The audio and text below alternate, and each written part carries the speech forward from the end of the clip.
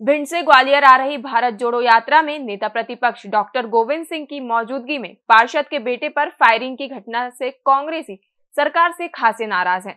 कांग्रेस के नेताओं का कहना है कि ये सब सोची समझी साजिश के तहत किया जा रहा है कांग्रेस नेताओं का कहना है कि मध्य प्रदेश में राहुल गांधी की भारत जोड़ो यात्रा में बड़े पैमाने पर गड़बड़ी की जा सकती है नेता प्रतिपक्ष डॉक्टर गोविंद सिंह, पूर्व मंत्री अजय सिंह, राहुल भैया, अरुण यादव, जयवर्धन सिंह, युवक कांग्रेस प्रदेश अध्यक्ष विक्रांत भूरिया और प्रदेश मीडिया विभाग के अध्यक्ष के के मिश्रा ने बयान जारी करते हुए कहा कि सरकार से हमने भारत जोड़ो यात्रा और राहुल गांधी की सुरक्षा बढ़ाने की मांग की है।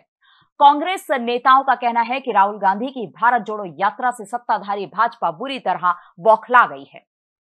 20 नवंबर को राहुल गांधी की यात्रा मध्य प्रदेश में प्रवेश कर रही है। लेकिन इस यात्रा से पहले ही यात्रा से संबंधित डॉक्टर गोविंद सिंह की यात्रा में जिस तरह से एक व्यक्ति कट्टा लेकर प्रवेश कर गया और गोली चलाई, उससे स्पष्ट होता है कि भाजपा सरकार जानबूझकर यात्रा को समुचित सुरक्षा व्यवस्था उपलब्ध नहीं करा रही है। कांग्रेस नेताओं का कहना है कि यह घटना ठीक उसी दिन हुई है जिस दिन प्रदेश कांग्रेस अध्यक्ष कमलनाथ ने इंदौर में आधिकारिक रूप से राहुल गांधी की भारत जोड़ो यात्रा को लेकर प्रेस कॉन्फ्रेंस को संबोधित किया और पूरे कार्यक्रम को सार्वजनिक किया।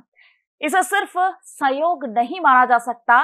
कांग्रेस नेताओं ने आशंका जताई कि राहुल गांधी की यात्रा जब मध्य प्रदेश में प्रवेश करेगी तो भारतीय जनता पार्टी असामाजिक तत्वों के माध्यम से यात्रा में व्यवधान उत्पन्न कर सकती है। डॉक्टर गोविंद सिंह जी के नेतृत्व में ग्वालियर में निकाली जा रही भारत जोड़ो की उप यात्रा के दौरान देशी कट्टा के साथ में एक युवक पकड़ाया है। वह घटना सीधी तौर पर इंगित कर रही है कि आदरणीय राहुल गांधी जी की यात्रा से और उसके मध्य प्रदेश में प्रवेश के पहले भारतीय जनता पार्टी हीन हथकंडों पर उतर आई है और हमें आशंका है, जो हमारा इंटेलिजेंस का इनपुट हमें मिल रहा है वह संकेत दे रहा है कि घबराई हुई वह सरकार, जो पैसों के दम पर कमलनाथ जी को अबदस्त कर खरीदी हुई सरकार है, वो जाने की बेला में है। राहुल गांधी जी और कमलनाथ जी दोनों के नेतृत्व से वो आशंकित है कि हमारे विदाई के क्षण निकट है और यही कारण है कि वो विघ्न पैदा कर सकती है। और यदि कोई ऐसी स्थिति पैदा होती है तो उसके जवाबदार माननीय शिवराज सिंह जी चौहान, देश के गृह मंत्री माननीय अमित शाह जी और मध्य प्रदेश के गृह मंत्री नरोत्तम मिश्रा जी। मैं विशेष तौर पर ज़ोर देकर कहूँगा कि इसमें विघ्न डालने का नेतृत्व मध्य प्रदेश के गृह मंत्री स्वयं नरोत्तम मिश्रा जी कर रहे हैं और जिस तरह वो आग में घी डाल रहे हैं, वो इस बात का स्पष्ट संकेत है कि यदि गृह मंत्री जी ही अराजकता फैलाना चाहते हैं तो प्रदेश की रक्षा कौन करेगा? नेता प्रतिपक्ष डॉक्टर गोविंद सिंह ने कहा कि प्रदेश सरकार की ज़िम्मेदारी है कि वो प्रदेश में कानून व्यवस्था स्थापित करे और किसी भी सार्वजनिक कार्यक्रम में असामाजिक तत्वों का प्रवेश न होने दे। लेकिन जिस तरह से बयान भाजपा सरकार के मंत्री दे रहे हैं, उससे ऐसा लगता है कि वो कानून व्यवस्था बनाने के बजाय कानून व्यवस्था बिगाड़ने का इरादा रखते हैं।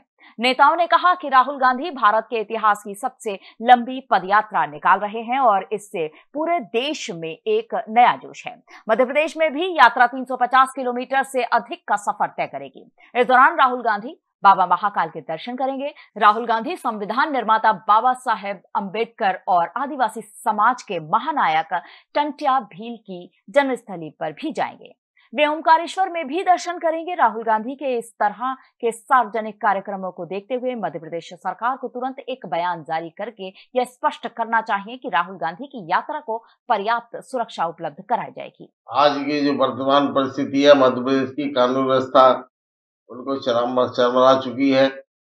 हमें शंका है कि राहुल गांधी की यात्रा में कोई भी उत्पाद कर सकता है, किसी प्रकार की घटना घट सकता है।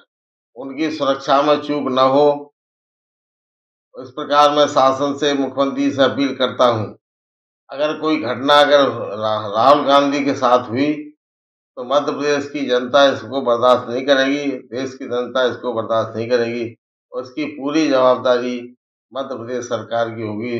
कांग्रेस नेताओं ने कहा कि कांग्रेस के कार्यकर्ताओं को पूरी तरह से सजग रहना चाहिए और अपनी तरफ़ से इस बात पर ध्यान देना चाहिए कि भाजपा राहुल गांधी की यात्रा के दौरान कोई षड्यंत्र या शरारत ना कर सके। उन्होंने मुख्यमंत्री शिवराज सिंह चौहान से मांग की कि वे अपने पद के दायित्व का ईमानदारी से निर्वहन करते हुए यात्रा के लिए पर्याप्त सुरक्षा इंतज़ाम करें। राहुल जी की यात्रा जो वर्तमान महाराष्ट्र में है जैसे मध्य प्रदेश के पास आ रही है, कुछ ऐसे असामाजिक तत्व हैं, जो शायद प्रयास करेंगे कि कोई विपरीत घटना हो जाए।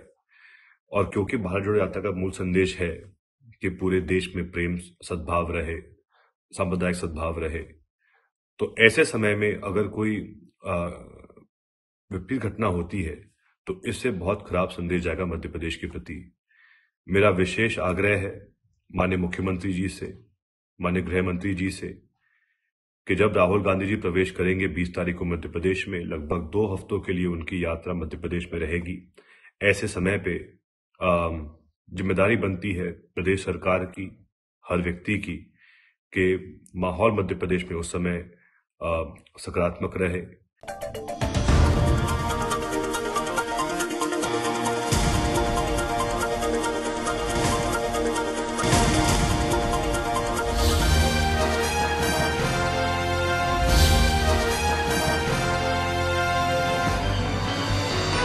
आप देख रहे हैं दखल न्यूज़।